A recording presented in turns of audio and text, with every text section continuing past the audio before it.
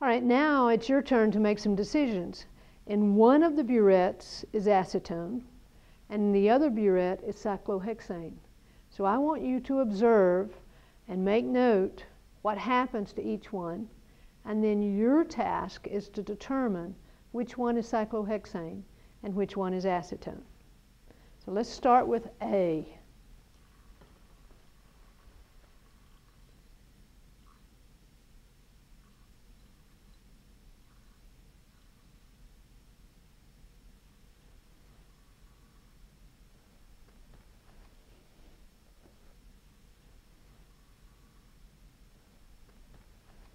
Now let's look at B.